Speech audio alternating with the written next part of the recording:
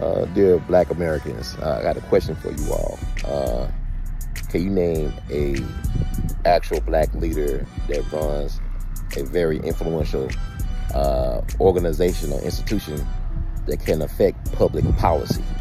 Are there any more black leaders in elected office at all?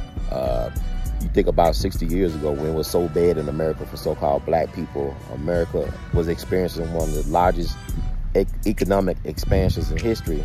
mean that if you was a, a, a, black guy in North Memphis and you dropped out of high school, you could work at the Firestone across the street for about 40 plus years, take care of a family of four, mom, your wife, the mother could stay at home to raise the children, send your kids to college and whatnot, and uh, still retire with a good pension and benefits. Those days are gone, but that was the old Jim Crow days. Y'all talking about was so horrible. But we actually had black men that did stuff. What's going on now as like black leadership?